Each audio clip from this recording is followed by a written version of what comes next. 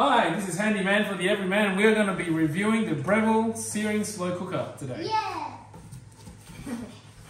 Now, my daughter did help me uh, do the research for this. Do you want to tell us a bit about your research? Yep. So we just wanted one that could like sear, which is basically like browning your meats and veggies and whatever um, before you start the slow cooking. So you don't have to do it on the stove and then transfer it. So it's just one less thing to do and one less thing to clean up. So it's a lot easier. Thank you. This is the lid, by the way. We just uh, and what I did notice about it is that it's got a rubber lip, Mm. which means that it will seal and keep the heat in probably better. Although they do put a hole there for the steam to come out. So it's also got the the word Breville written at the top. Very classy. Very solid. Very nice. Some recipes and Ooh. booklet. No, I don't know anyone that would uh, Use the recipe book there. Oh, some people do. Not me. We might. Okay, so getting to the actual product itself. Tell us what you see there. I think this is kind of like a kind of like a um, steaming basket or something. Oh, Metal. So you can put something on there and then steam it above a little bit of water in the. Never had Very that nice. before. ooh, never- that's fancy. So you could put your like It's beautiful. whatever you want to steam. Lattice, Like from chemistry. Okay. Ooh, this is actually really nice. Mm, fancy. Fancy, you want to take this out? Do you know from how much it was? This was two hundred and Nineteen? nineteen dollars, I think. As opposed to our one last time, which was like fifty At dollars. Good Guys. Yeah. This is a. Uh, The thing you put in the slow Yeah. By the way, the reason why we had to buy a new one was because our fifty dollar one um, burnt because uh, we left it on for too long. Accidentally. Now, one of the things about this product is that it does have a timer built in. Which we didn't have last time. That's right. The cheap ones don't have timers, Mm. So having a timer is kind of good. Now, I'm just well, okay. So this is. Um, so I want to tell you that the old one that we had was ceramic. This one is not ceramic. I'm a bit worried about how this is like one of those. You know the um, non-stick. non-stick ones. So if you scratch it, you're doomed. You'll die of cancer or something. You know, Dad, that was not very nice. not very nice, but that's what they say. So. Yeah, darling. Okay. So that's okay. The ceramic one is actually really heavy, so this is actually really easy to carry, easy to clean. But like, yeah, it's actually I didn't know it was ceramic.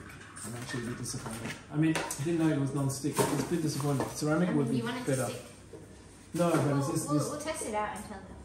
I suppose because we're not frying things, But to be fair, that is the material of most of our pots and pans, so it's not like but the most of the pots and pans stop working after a while. That's the problem. yeah, we'll see. Have to be very, very careful with this guy. Mm, Hopefully, it's, uh, you can actually get a replacement, although usually they charge an arm and for those a things. lot of them. Ooh! Look at that. What does that do? Wait, let's put it in the tea. This can do something. The handles. Put it in.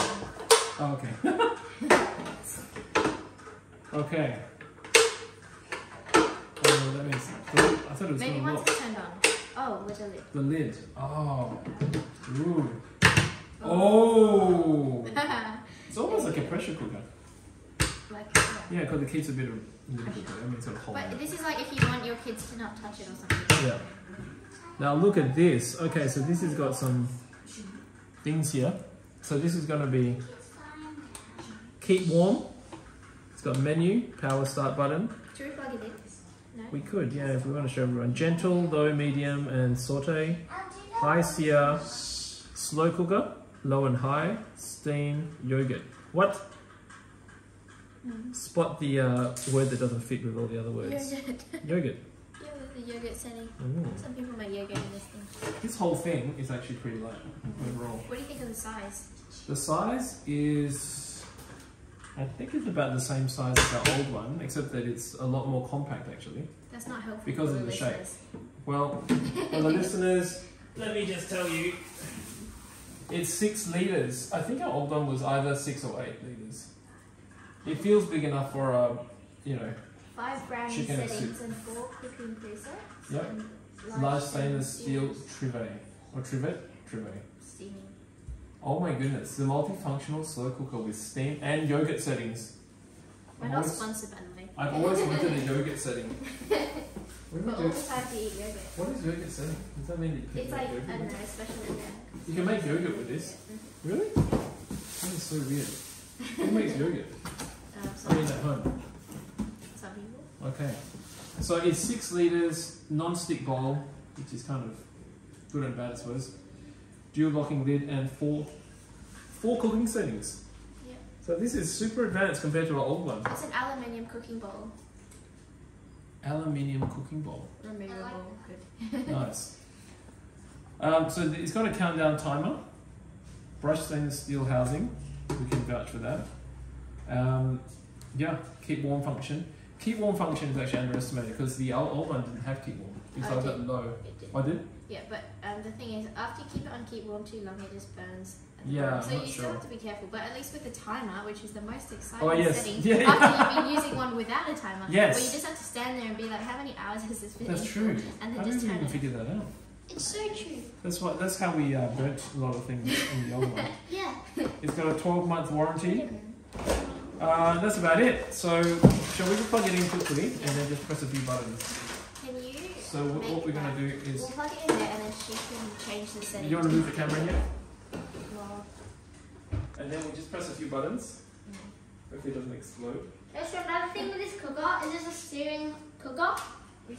And Ah. I have variety cooking. And it has topping glass in it. it like a making fade. It's a toughen glass. Oh, it's fade, baby. By the way, we need our garbage man to take this to the rubbish bin. Oh, so this is metal. Can I keep it? You want to keep the box. Yeah. This is an unboxing video and you want to keep the box. As long as you throw the rubbish inside away, sure. Okay. You may keep the box. Okay, we're going to show you guys. Oh, here you go. Collect the rubbish, you may keep it. Well done. Okay. Now we're going to quickly look at this. Also, yeah, this this is very satisfying, but that's not relevant. Also, the red lights indicate it being on. Thank you. And the electricity runs. Power. So now I get. We've got nothing in it, so I'm not sure whether we're going to. There's a menu. Ooh, how do use this? Okay, yeah, so yeah, well, you can change the settings, I presume. That's a timer. Okay, this is probably the menu to choose. So Low, browning, gentle, low, medium, saute, high, sear. high sear, low, high, this is slow cook. So the browning settings, the slow cook settings, and of course the all important steam steam and yogurt setting.